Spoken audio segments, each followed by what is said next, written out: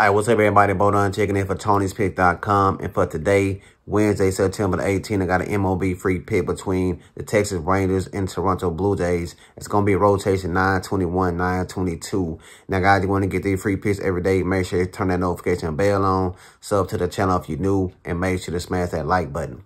All right, guys, we got two picks on the mound, Cody Bradford and Bowden Francis. Francis been a machine. Uh, he's going seven innings, most of his games, not allowing more than uh, two runs in his starts. Uh, we got a lineup with Texas that's been kind of up and down throughout the season. So I think it has success against the uh, Texas Rangers lineup. And on the other side, man, Cody Bradford on at home, his ERA is on the three. His whip is 1.12. I think he'll be able to control this uh, Blue Jays lineup to bat under 200 over the last 10 games.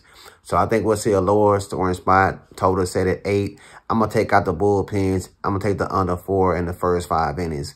Guys, you want to get my best bets, some of the best bets from the top handicappers on the web. Make sure to visit Tony'sPick.com. Save 15% on your purchase by using code TonyT. All right, guys, remember to like, share, and subscribe. Let's cash your ticket.